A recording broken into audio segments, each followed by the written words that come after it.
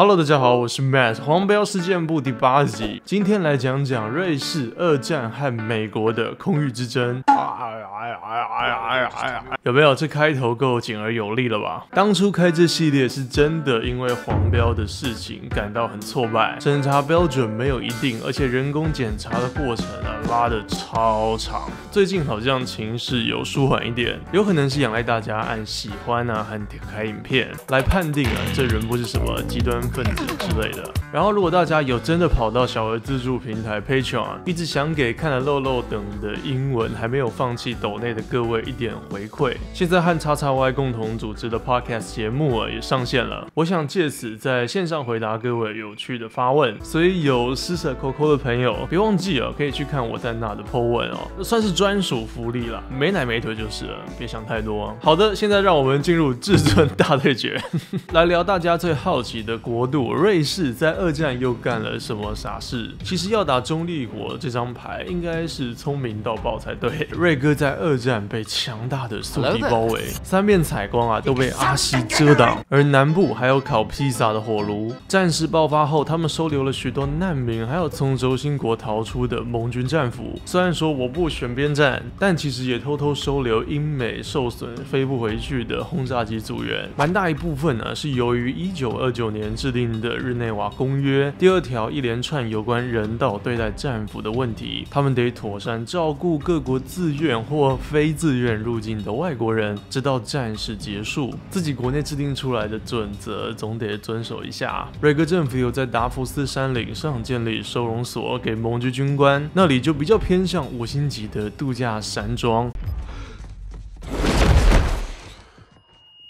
因为还有一处，就真的是去服劳役的传统战俘营，多半官友如果试图要逃出瑞士国界的外国士兵，大多是盟军呢被击落的飞行员，当然还有一部分是来自东欧的波兰、苏联，甚至连敌阵营的德国和意大利都有。真的很难想象监视器画面会看到什么情况，幻想着他们在午餐放风时间啊偷偷干架之类的。我们之前二战课本没教的事，只有和各位介绍过瑞士的中立性。可不是空喊的口号。一九三九年，欧洲还在姑息主义之时，就已经动员其军力准备一战。今日主餐空域的部分，可谓名副其实的 No Fly Zone。论瑞哥二战时的空军，德军入侵波兰三日前，他们只有九十六架战机哦，和一百二十一架侦察机。某些数据甚至指出，整个国家只有八具防空探照灯而已。瑞哥为了捍卫领空，有向德国购买梅瑟斯密特 Bf109，法国。方面则是买下莫拉纳索尼埃四零六战斗机的生产权，七十四架原型机啊都有的赶在沦陷前交货。山壁洞穴的停机坪和雷达预警防空系统皆有帮空军撑腰，一切都有点在赶进度。因为瑞士空军呢也是于一九三六年才正式从陆军分支出来的。一九四零年西线战场开打之时，瑞士国产力量啊只有升空打下十一架德军战机，我方战机有三。架牺牲，以此警告德空军呢，别随便越界来乱。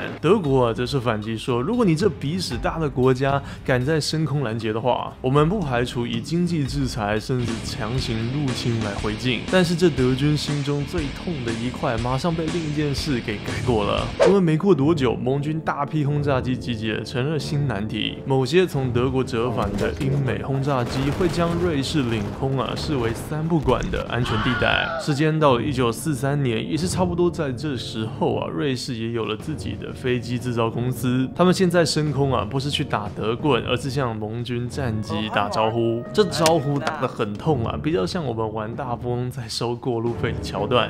一九四三年七月十二号至十三号晚间，两架英国老轰炸机被瑞士西南部的防空炮阵地击落，为第一次盟军吃瘪的记录。美国老白天则是在德国南部的巴伐利亚和奥地。第一代执勤，第一次捅到蜂窝是在一九四三年十月一号，一架美军 B 二四解放者被瑞哥的 Bf one o nine 击落，七到十名组员的轰炸机只有三人能成功生还。一九四三年整年度，瑞哥总计拦截并击落六架盟军轰炸机，另外四架则是被地面防空炮打掉的，造成三十六名飞行员宝贵的性命葬送于这说好不打我之国度。听到这里，应该也不难。想象为何有些战俘会想逃出国界了吧？瑞士风情美归美，但谁也没想到是被莫名打下来去观光的。美军到后期啊，也开始不小心把炸弹丢到瑞士国土，两国摩擦日益滋生。这样做真的最后还是百姓无辜遭殃。为数不少的轰炸事件，官方是说不是故意的，但少数史学家眉头都还没皱完呢，就心想这案情并不单纯，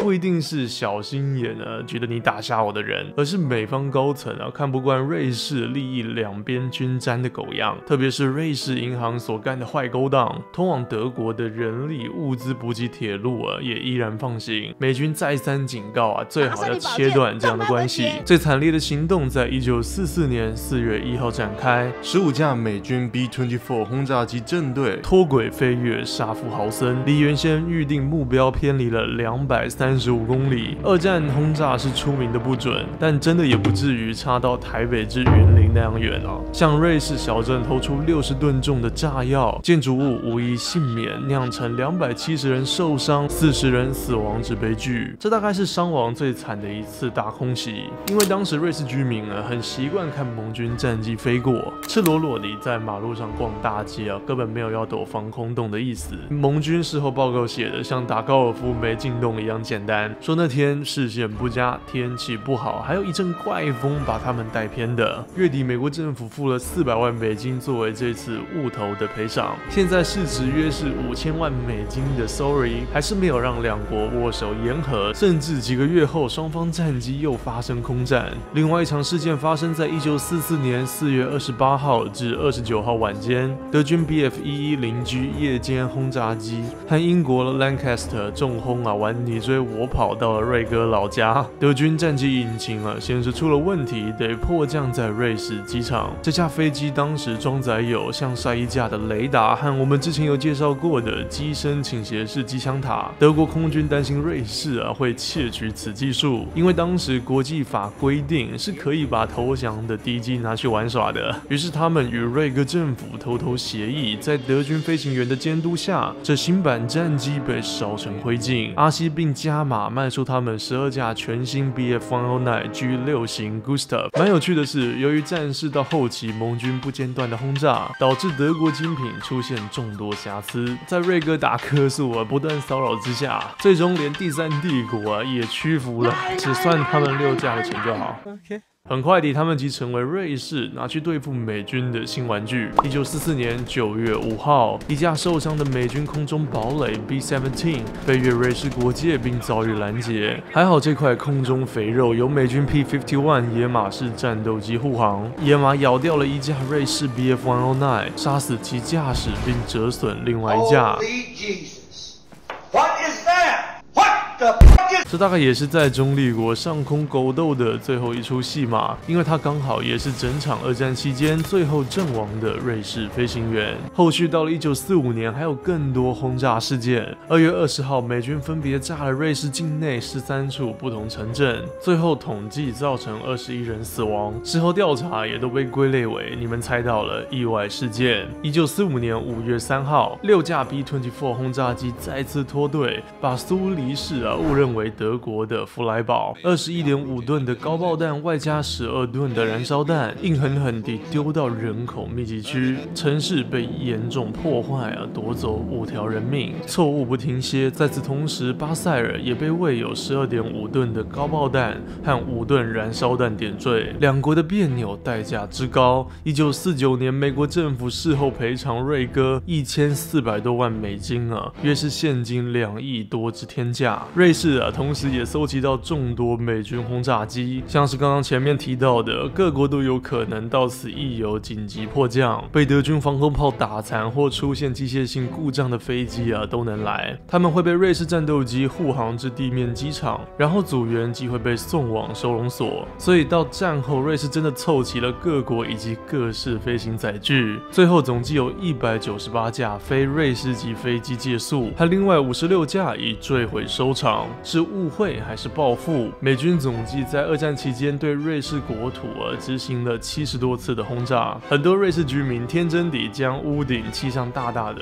国旗图案。重点是，很多美军轰炸机组员事后访问说：“对啊，我们是有在德国看到红框白十字的符号。”显然，如果你要考他们瑞士的国旗长什么样子，答案呼之欲出了。这大概就是瑞士空域和美军闹别扭的简单介绍。最后可以丢出一个后续状况做作结：误植苏黎世的美军飞行员，因为违反战争条款啊，在一九四五年六月一号有接受审判，后来当然都是无罪释放啊，不然应该是蛮大的新闻。有意思的是啊，这也是二战唯一因为炸到中立国而送军法的案件，不管有意还是无意啊，当时的轰炸技术如果仪器一出问题，就得全凭肉眼判断。像是德国西南角的康斯坦兹，由于紧邻瑞士边境啊，所以他们晚上会故意开灯，导致轰炸机组员从上方俯瞰，真的难分辨国土界限，生怕炸到邻居瑞士民房啊。所以此处的工业区几乎在二战中完整保留了下来。所以美军也不全然都是那么坏心眼啦。然后打完今天的文稿，还是觉得大国角力的牺牲品总是平民百姓。然后如果美军是战败国，今天介绍的雾气事件肯定没那么容易花钱消灾了。如果晚上没事的话，欢迎加入 YouTube 不定时的直播，还有与叉叉 Y 新开的网络 Podcast 节目终于上线了，可以上 First Story 或 Spotify App 搜寻 What a Max。想知道我私底下的样子啊，或冰箱到底有什么，就快进来聊天吧。你也可以选择每个月一杯星巴克的方案，去看看等一下会出现的 Patreon 赞助平台连接，支持我这艺人团队。还有一个没奶没腿的地方叫 IG，也欢迎大家去追踪一下，里面会有无聊劝世警语和影片幕后花絮。数据显示，还有五十二点三趴的观众朋友啊，看了影片还未订阅。如果不想要被 YouTube 演算法机器绑住的话，现在决定权在你自己手上，订阅一下，选择自己想看的内容。别忘记可以开下面的小铃铛，这样我新影片的话，大家就会同步被通知烦死。所以后面大概先到这边，拜拜。Have you ever had a dream that, that you um you had you you wi- you you you do you wi- you want to do. You could do so you you you wi- you could you do you could you could you do